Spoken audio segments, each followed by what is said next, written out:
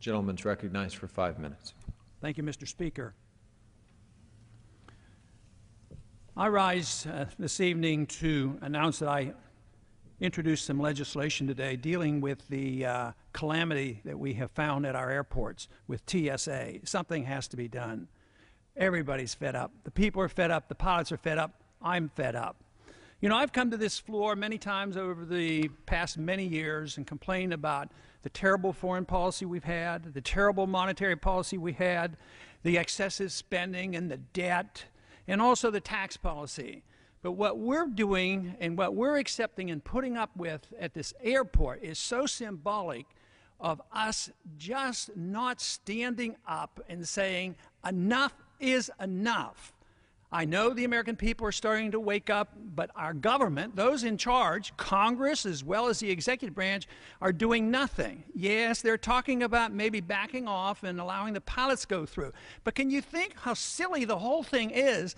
The pilot has a gun in the cockpit and he's managing this aircraft, which is a missile, and we make him go through this groping x ray exercise, having people feel in their underwear. It's absurd. And it's time we wake up. The bill I've introduced will take, take care of this.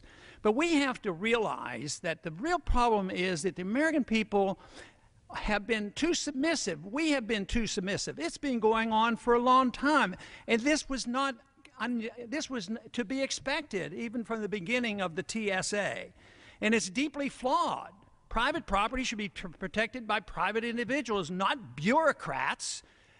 But the, the, the, the bill that I've introduced will take care of it. It's very simple. It's one paragraph long. It, remo- it, remo- it, remo- it removes the immunity from anybody in the federal government that does anything that you or I can't do. If you can't grope another person, and if, if you can't x ray people and endanger them with possible x ray, you can't take nude photographs of individuals, why do we allow the government to do it? We would go to jail if an individual, he'd be immediately arrested if an individual citizen went up and did these things, and yet we just sit there and calmly you know, say, oh, they're making us safe.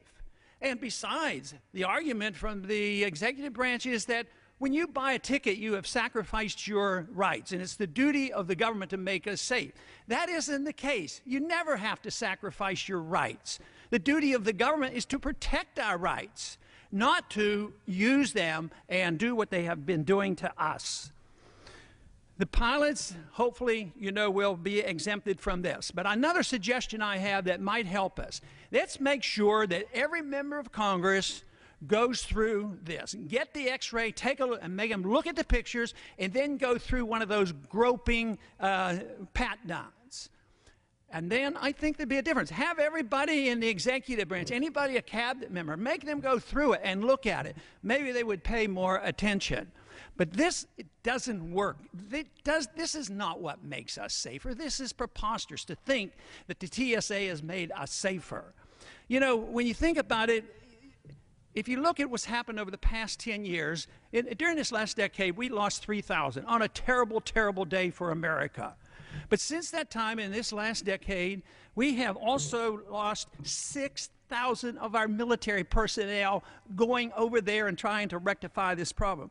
We have lost 400,000 people on our government run highways. We have lost 150,000 individuals from homicides. So I think there's reason to be concerned, reason to deal with this problem. We're not dealing with it the right way. We're doing the wrong thing. And groping people at the airport doesn't solve our problems. What has solved our problems basically has been that they put a good lock on the door and they put a gun inside the cockpit. That's been the greatest uh, boon to, to our safety. Safety should be the responsibility of the individual and the private property owner. But right now, we assume the government's always going to take care of us, and we are supposed to sacrifice our liberties. I say that is wrong. We are not safer. And we also know there are individuals who are making money off this. Michael Chertoff.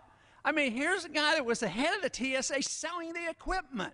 And the equipment's questionable. We don't even know if it works, and it may well be dangerous to our health. You know, the way I see this, if this doesn't change, I see what has happened to the American people is we have accepted the notion that we should be treated like cattle. make us safe, make us secure, put us in the barbed wire, feed us, fatten us up, and then they'll eat us.